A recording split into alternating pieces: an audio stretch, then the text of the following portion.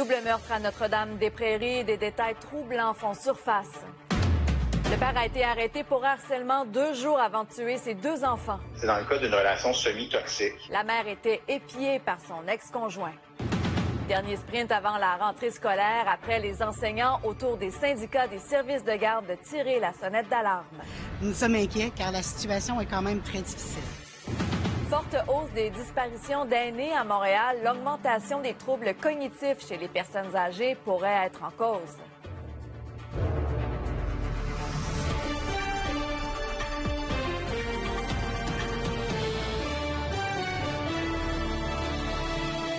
Bon début de soirée, bienvenue au TVA 18h. Au lendemain de ce terrible drame qui a coûté la vie à des jumeaux de 3 ans, on commence à en savoir un peu plus et les derniers détails sont extrêmement troublants. Le père des enfants, Yannick Lamontagne, avait été arrêté pour harcèlement envers son ex-conjointe deux jours avant de commettre l'irréparable. Et Kevin, il est allé jusqu'à traquer ses déplacements. Oui, exactement. c'est ce que nous avons appris aujourd'hui. Je suis présentement à Notre-Dame-des-Prairies dans l'anneau d'hier. J'ai passé la journée ici. Vous voyez la demeure où le drame s'est joué euh, hier. Euh, euh, c'est une scène de crime qui était déchirante pour les premiers répondants. On peut voir plusieurs traces de sang dans la cour arrière. Durant la journée, des gens sont passés ici pour se recueillir. Certains ont laissé deux chandails pour les jumeaux qui expliquent que chaque enfant compte. Vous verrez dans mon reportage que ce drame affecte toute une communauté. Ben, des fois, je me dis, qu'il était mieux de prendre ma vie que la vie d'une jeune de trois ans et demi. La communauté de Notre-Dame-des-Prairies est ébranlée par ce terrible drame. Yannick Lamontagne, 46 ans, a tué ses deux garçons, des jumeaux, Antoine et Tristan. Ils avaient trois ans et demi. Moi, j'ai entendu le cri de la madame. C'était assez atroce. J'ai jamais entendu crier de même. La Sûreté du Québec a reçu un appel samedi après-midi pour des corps inanimés à cette résidence de la rue Patrick. Dans la cour, il y avait plusieurs traces de sang. Tes émots montent pour les tuer? La montagne avait été arrêtée pour harcèlement sur son ex-conjointe, la mère des jumeaux, deux jours avant de commettre l'irréparable. TVA Nouvelle a appris qu'elle avait retrouvé chez elle un micro caché et un GPS en dessous de son véhicule. Ce qu'il faut savoir, c'est que La Montagne travaillait en informatique depuis plus de 20 ans. Son expertise est la cybersécurité. J'ai vu zéro red flag. Ça, c'est vraiment ce qui me choque le plus. Patrick Dufour est un ami proche du père des jumeaux. il est sur le choc. Il devait le rencontrer ce dimanche avec les enfants pour lui remonter le moral après son arrestation devant ses enfants. Ça fait plusieurs années que je le connais. Euh, c'est un ami. Je travaille avec lui aussi. Je dis, écoute, on va se voir vendredi ou, samedi. Là, il m'a dit, ben, je vais être avec mes enfants. On va peut-être se revoir plus dimanche ou lundi. Fait que, je veux dire, c'était pas prémédité, son truc, là. Pour la directrice générale de l'organisme Entraide pour hommes, les facteurs de risque étaient élevés pour qu'un homicide soit commis. Caméra, micro, GPS, tout ça, pour nous, dans le milieu, dénote une dangerosité. Ce qu'on constate dans la majorité des féminicides et des homicides, euh, l'homme était connu euh, des policiers. Là, il y a eu une arrestation. Ça dénote qu'au Québec, on doit faire quelque chose, avoir des services psychojudiciaires pour les hommes qui vivent une arrestation en matière de violence conjugale. Elle va avoir l'impression que le sol se dérobe sous ses pieds. Ce drame affecte plusieurs personnes. Le CAVAC tient à rappeler l'importance d'en parler et d'être présent pour les proches des victimes qui vont passer par des séries d'émotions. La colère, la tristesse, le, sentiment d'injustice. Donc, elle va passer vraiment par toutes les émotions possibles. Donc, c'est que les, personnes proches de ces gens-là, c'est d'être prêt à accueillir ces émotions-là sans jugement, euh, d'être présent. Durant la journée de dimanche, plusieurs personnes sont venues se recueillir devant la résidence où le drame a eu lieu. Ce matin, ça m'a interpellé, c'est pour ça que je suis venu prier. Il y a des gens comme ça qui sont en détresse et ont besoin d'aide. Alors on peut comprendre tout ça euh, sans les juger, mais sympathiser avec eux. Dans les euh, dernières minutes, des amis de la famille sont arrivés euh, ici. Ils n'étaient pas du tout au courant de ce qui est arrivé aux deux euh, jumeaux. Ah, Ils étaient en état de choc. Ils ne pouvaient pas croire ce qui est arrivé. La mort de ces jumeaux, justement, a ébranlé tout le Québec, André. Des services d'aide sont offerts à la population. Si vous ressentez le besoin de parler à un intervenant social, vous pouvez faire le 811. Oui, merci beaucoup, Kevin. Et malheureusement, on constate que ce genre d'événement est loin d'être isolé. Au cours des dernières années, il y a des dizaines d'enfants qui ont été tués par un parent ou un beau-parent. A dit, c'est ce que confirme un récent rapport du coroner. Oui, c'est un rapport, André, qui est paru en 2022, mais qui demeure toujours quand même d'actualité. Rapport qui recense entre 2011 et 2020, 56 enfants qui ont été tués par, par un parent. Et ce qu'on dit dans ce rapport, c'est que dans la majorité des cas, la violence conjugale était un facteur de risque pour les enfants. Je vous fais ressortir un court extrait de ce, de ce document. On peut lire, et je cite, Concernant la violence conjugale post-séparation, il sera nécessaire d'insister sur le fait que celle-ci peut non seulement se manifester rapidement après la rupture, mais aussi perdurer pendant plusieurs mois, voire plusieurs années après la rupture. Réaction de la psychologue Caroline Paquette. Dans le rapport qui a été publié là, en 2022, on constate que dans presque toutes les situations, on était dans un contexte de séparation, soit aux environs de la séparation, des fois même après la séparation, mais ça pourrait être quelque chose qui soit un facteur de risque. On se rend compte dans ce rapport-là que la plupart des femmes avaient été chercher de l'aide, que les hommes y vont, mais un peu moins. Depuis 24 heures, André, il a beaucoup été question de l'état mental, de la détresse que vivait ce monsieur, ce père de famille, Yannick Lamontagne, ce qui, ce qui aurait, du moins, disons-le au conditionnel, conduit à ce drame. Mais Mme Thibaudot, que vous entendrez dans un instant, nous dit la violence conjugale, ce n'est pas un problème de santé et elle insiste sur cet élément. Selon elle, il est important de rappeler que la violence conjugale euh, dont la mère a été victime, ben, c'est un facteur important qu'il faut évoquer. On l'écoute. On est vraiment face à une situation de contrôle coercitif, de violence conjugale, post-séparation. Et c'est important de mettre le focus sur la responsabilité de l'agresseur, de l'auteur de violence. Euh, on ne l'a pas connu, on n'a pas évalué son état psychologique, mais peu importe son état psychologique, ce qu'il a choisi de faire, il reste responsable de ses comportements. Alors voilà, ce qui rappelle tout ça, l'importance de demander de l'aide. Euh, peu importe le moment, peu importe quand survient la séparation, parce que voilà, parfois, ben, on peut se ressentir un sentiment de colère des années après, d'où l'importance ben, de rester à l'écoute de soi-même. Absolument. Merci beaucoup, Adi. Maintenant, c'est euh, la dernière journée des vacances pour des milliers d'élèves euh, québécois. Ils seront de retour en classe dès demain. Et pendant que certains parents cherchent toujours des fournitures scolaires, les écoles, de leur côté, cherchent du personnel. Andy Saint-André. Prêt, pas prêt, elle est sur le point de sonner dans plusieurs écoles du Québec. Pour certains, c'est une question de jour. Vous, c'est pas demain, c'est mercredi. C'est mercredi matin, exactement. Qu'est-ce que tu as le plus hâte? Euh, j'ai hâte d'avoir des nouveaux amis. Pour d'autres, une question d'heure. Demain, c'est la rentrée. On est venu acheter quoi aujourd'hui? Juste des sacs d'école. Une sorte de course contre la montre dans plusieurs boutiques. On n'a pas grand-chose qui nous manque, mais on s'y est pris un peu dernière minute. Chez l'essence, c'est un feu roulant depuis ce matin. Euh, oui, c'est bien. On s'amuse. oui. Les journées passent vite. Très, très vite, oui. Si la vigilance est de mise sur les routes. Il y a un déploiement euh, stratégique des effectifs policiers qui est fait pour la rentrée scolaire. C'est aussi une période de l'année qui rime avec stress et anxiété de mettre l'emphase sur le fait qu'il va retrouver ses amis. Il faut miser sur ce qui aura été positif, sur leurs compétences, en fait, leurs compétences d'élèves. Et une période de l'année où les défis sont nombreux. Une certaine inquiétude chez nos directions d'école pour s'assurer qu'on qu'on aura tout le personnel nécessaire. On sait qu'il y a plusieurs postes qui vont être comblés par du personnel non qualifié. Personne ne souhaite avoir un bris de service dans son établissement, dans la classe de son enfant. Après le personnel enseignant, autour du personnel de soutien de faire passer des messages. À la veille de la rentrée, des centaines de postes en service de garde restent toujours à pourvoir. Les enfants n'ont pas encore mis un pied dans la cour d'école que nous, nous sommes inquiets. Selon le plus important regroupement syndical d'employés de soutien scolaire au Québec, 10 des postes d'éducatrices en service de garde sont toujours à pourvoir au Centre de service scolaire de Montréal. Dans ce centre de service scolaire des Laurentides, pas moins de 50 des éducateurs et éducatrices restent encore à trouver.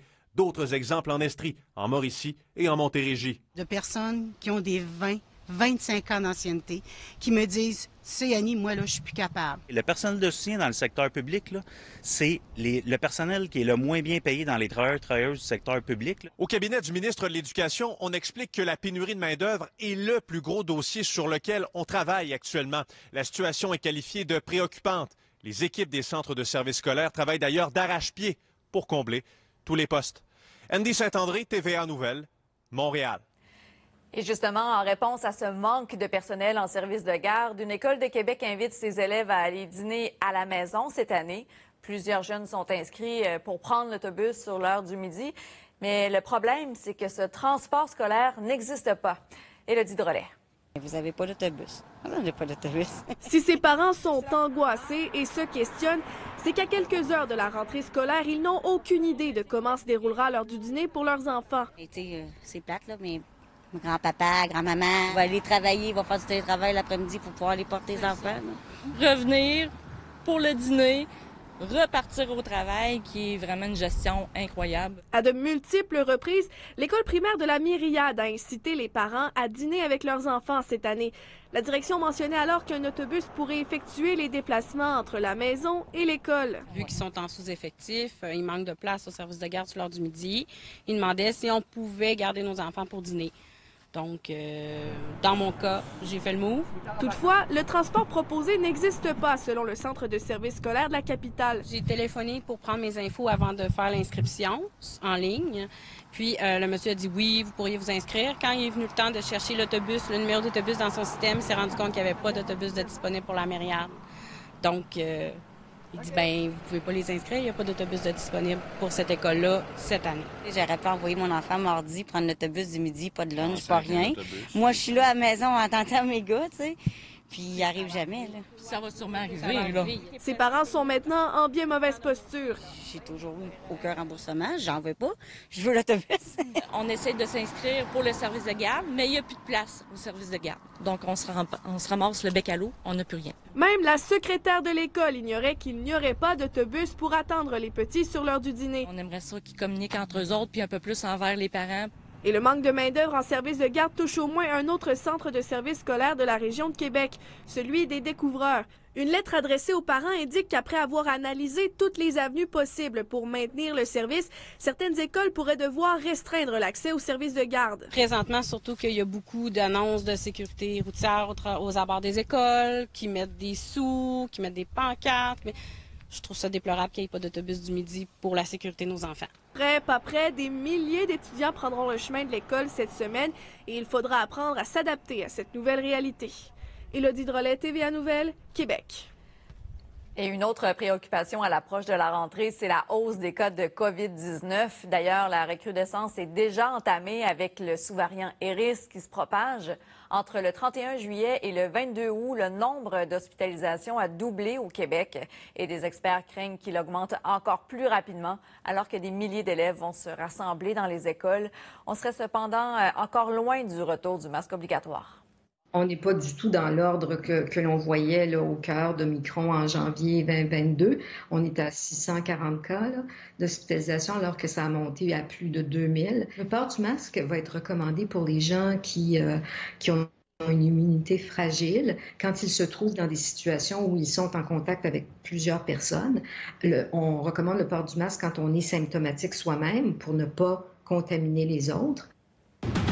Après la pause, le nombre de signalements pour des aînés disparus a grimpé en flèche dans la métropole depuis l'année dernière. Ça pourrait s'expliquer avec le vieillissement de la population. Les détails dans un instant.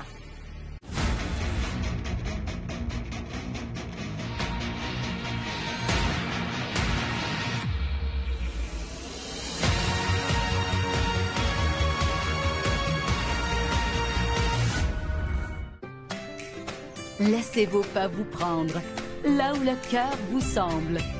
La toute nouvelle Hurricane aide à vous déplacer sur tous les revêtements de sol. Allez de l'avant en toute confiance. Visitez hurricane.ca.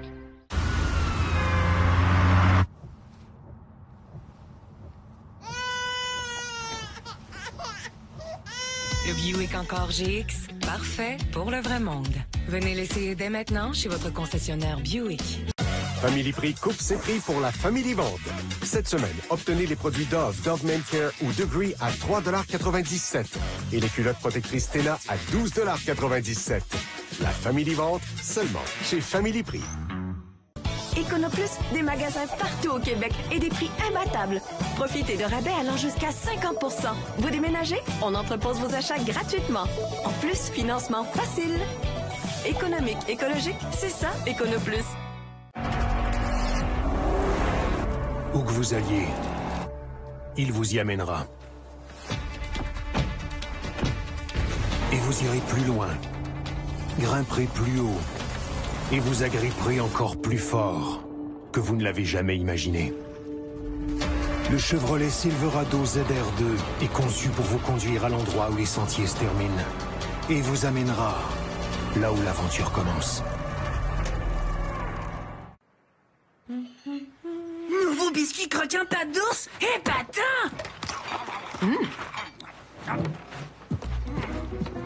Deux pour le petit. Deux pour moi. Le petit dort. Hum, il était temps.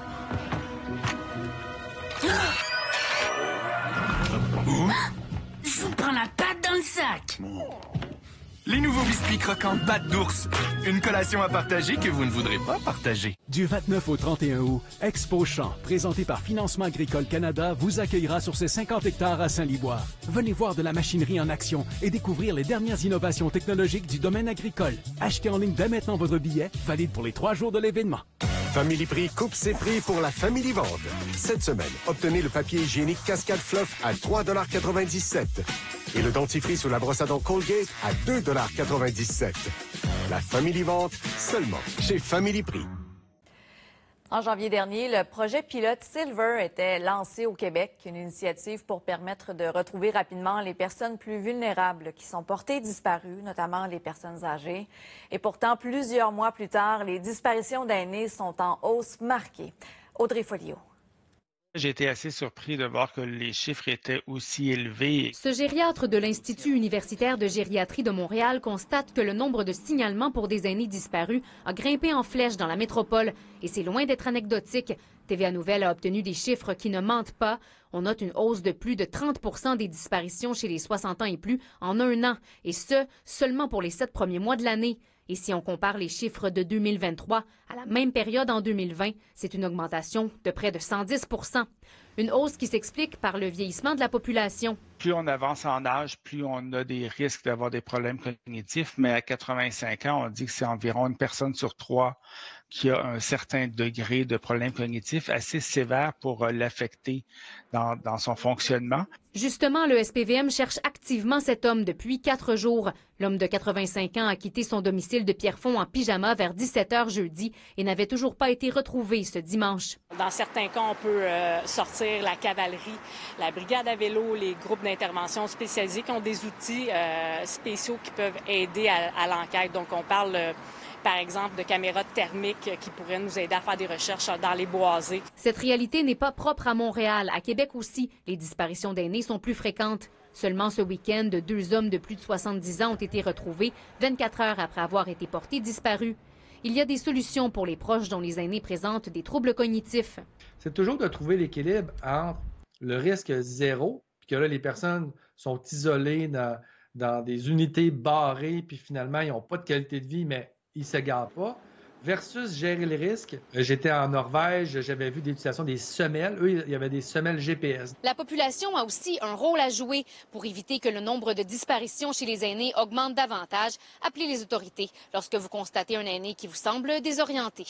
Audrey Folio, TVA Nouvelle, Montréal. Au retour, soirée riche en émotions à Drummondville hier alors que les Cowboys fringants sont montés sur scène au Festival de la Poutine. Leur image est utilisée sans leur accord. J'ai trouvé ça drôle la première fois, puis après ça, je disais, non, ça dégénère. Pour vendre des produits douteux. C'est des crosseurs, pas bien dur. C'est de la peine pour ces gens-là. Puis en plus, probablement que leurs produits, c'est de la merde. À JE, de retour le 22 septembre. Avec Downey Infusions, c'est la senteur qui crée l'ambiance.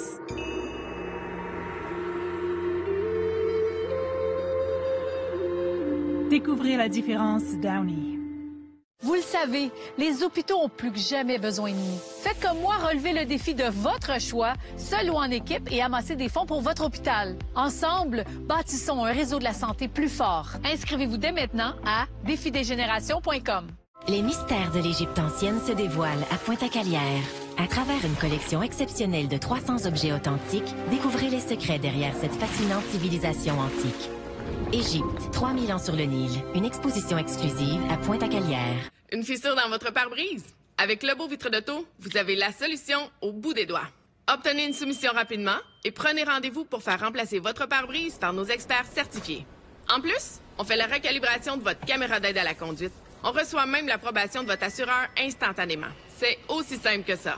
Pour faire remplacer votre pare-brise par les vrais experts, la solution est au bout de vos doigts. Prenez rendez-vous dès maintenant sur lebeau.ca. Vous vous sentez amorphe ou alourdi? Votre appareil digestif n'est peut-être pas en pleine forme. Prendre Métamucil chaque jour peut aider. Les fibres de psyllium de Métamucil forment un gel qui attrape et élimine les résidus qui vous alourdissent, aidant à réduire le cholestérol, à ralentir l'absorption des sucres pour favoriser une glycémie saine et vous laisser une sensation de légèreté. Sentez-vous chaque jour plus léger avec Métamucil. Sentez-vous moins amorphe et alourdi en seulement 14 jours. Inscrivez-vous au défi de deux semaines sur métamucil.ca. Est-ce que je peux prendre votre commande, hein? Du fromage dans un casse-dalle. Un royal avec fromage. Vous n'avez pas mangé d'hamburger depuis très longtemps. combien de filets aux fiches est-ce que vous avez avalé? C'était il y a sept mois, Ryan. Sauf qu'à Puerto Rico, un McFlurry s'appelle un Senior Flurry. Deux Golden Menu. McDonald's McDonald's? McDonald's. C'est McDonald's. Et moi, McDowell. Tu comptes commander quelque chose ou... Maman, c'est quoi un crisp aux légumes de Dare? Je suis des crisps aux légumes de Dare. Je suis un peu de tout. Des légumes, des craquelins et des chips. Légumisez vos collations avec les crisps aux légumes de Dare. Fait avec de vrais légumes! Votre opinion nous intéresse. Envoyez-nous vos lettres ouvertes de 300 à 500 mots à Faites la différence à commercialtva.ca. Il nous fera plaisir de vous lire, de vous publier dans le Journal de Montréal et le Journal de Québec, peut-être même d'échanger avec vous sur les ondes de LCN, également sur Cube. Parlons maintenant de l'histoire d'amour entre les Cowboys fringants et leur public. Elle est plus forte que jamais. On sait que leurs spectacles se sont fait plus rares cet été en raison de la maladie du chanteur, mais à chaque rencontre, la magie a opéré et c'était le cas ce week-end à Drummondville. Isabelle Perron.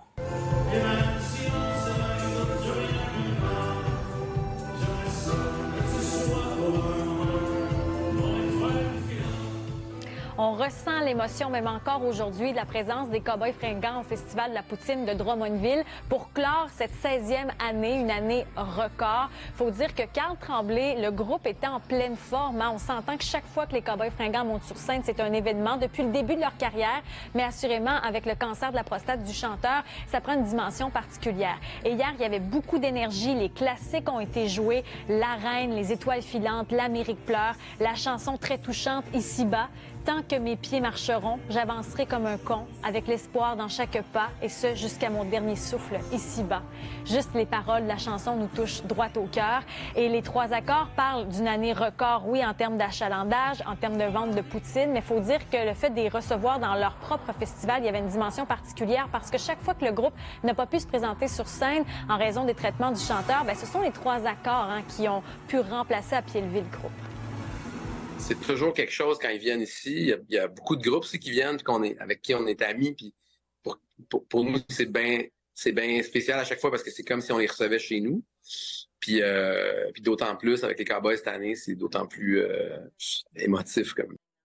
Et on comprend d'ailleurs, les Cowboys fringants vont poursuivre leur tournée, devraient se rendre au Festival Western de Saint-Tite en septembre.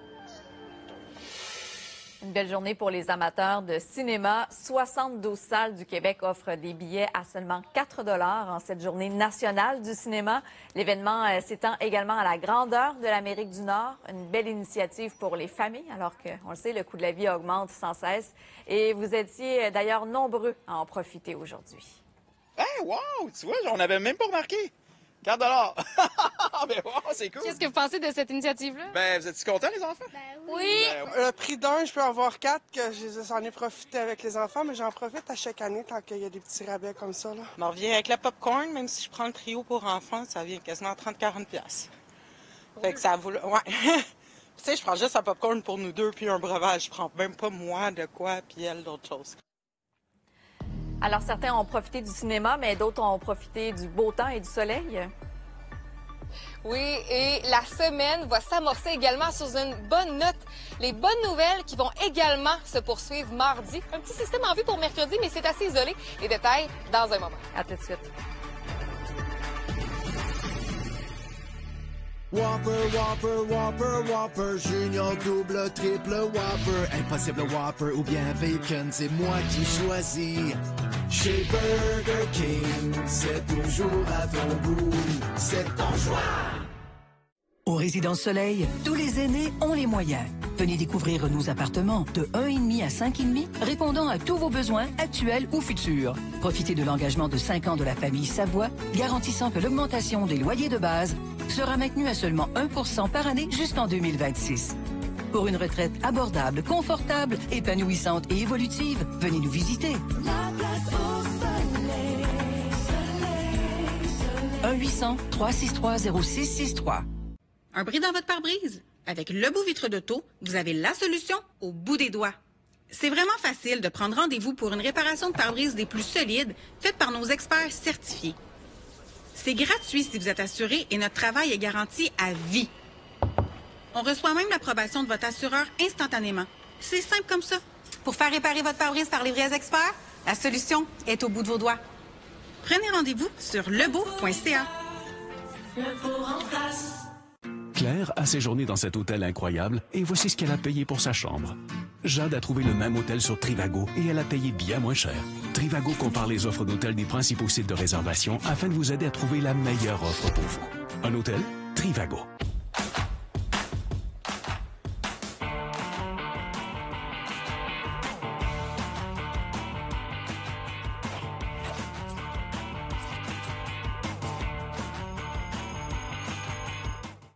Vos planchers sont-ils aussi propres que vous le pensez? Essayez Swiffer Sweeper Wet. C'est linge humidifié d'une solution nettoyante attrape la saleté et la crasse. Même la saleté qui se cache. Ne vous contentez pas de la déplacer. Cessez de nettoyer, commencez à Swifferiser.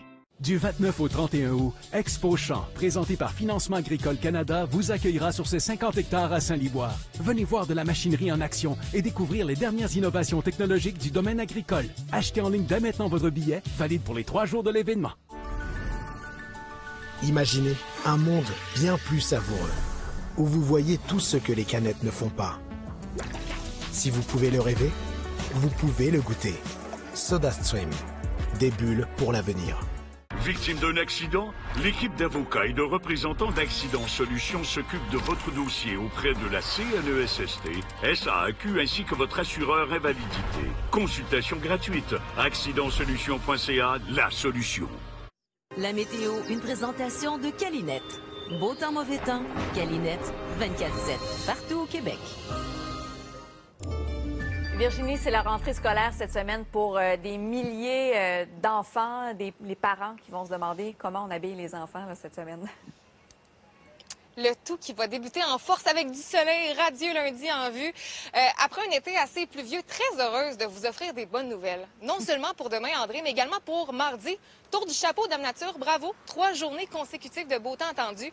Ça fait du bien, on les prend. Et ce soir et cette nuit, c'est à l'image d'aujourd'hui, vraiment euh, une belle soirée en vue. Euh, donc, un 5 à 7 qui peut se faire à l'extérieur sans problème. On n'a pas de, probabilité euh, d'averse en vue. Un peu plus couvert pour l'Estrie, Montréal, Gatineau, dans l'Est également, mais sinon, c'est la perfection. C'est assez frais dans le Nord, où la normale actuellement est à 9 degrés. Nous aurons 5, mais sinon, c'est beau. Nappe de brouillard également, qui vont se dissiper dès demain matin. Justement, allons voir pour des milliers d'étudiants qui euh, feront la rentrée scolaire demain perfection, sauf dans l'Est, en fait, où on attend quelques nuages, euh, mais sinon 20 degrés et plus, entre 20 et 24, indice humidex qui va augmenter le ressenti un peu. On va ressentir entre autres 27 du côté de Québec. Mardi, pourquoi pas ajouter 1 ou 2 degrés, ça se prend bien. Ce sera euh, par contre Mossad en Estrie et un peu plus couvert au Saguenay, mais sinon quelques passages nuageux avec euh, le soleil qui sera également bien présent. Et maintenant, allons voir à plus long terme. Somme toute, c'est de bonnes nouvelles, une très belle semaine en vue. On voit un petit intrus pour euh, ce qui est de mercredi, en fait. C'est un système frontal qui va balayer la province euh, du nord vers le sud, qui va faire également chuter les températures un peu. Donc, euh, du côté de Montréal, nous aurons euh, 22 degrés pour ce qui est de mercredi. On va remonter le tout à 23 dès ce jeudi et également un beau vendredi en vue à plus long terme.